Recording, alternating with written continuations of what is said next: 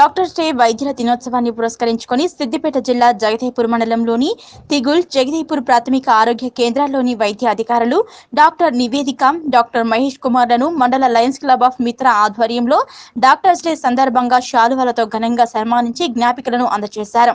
Doctors day సందర్భంగా వైద్యులను సన్మానించడం సంతోషంగా ఉందని డాక్టర్ నివేదిత అన్నారు.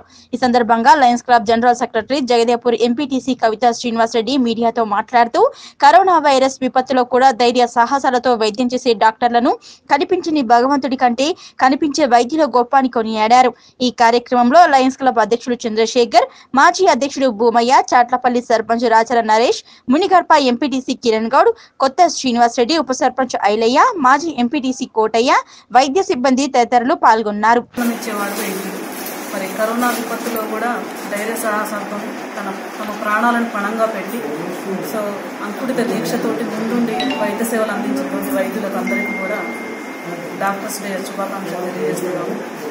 వారు ముందు ముందు కూడా ఇలాగే చేస్తారని మేము ఆశిస్తూ ఇందుకు మీరు అందరూ గుర్తించి మా సేవల్ని ఇట్లా ఇది ఇట్లా ఇచ్చినందుకు మాకు ఒక చిన్న ఎంకరేజ్మెంట్ లా ఉంది.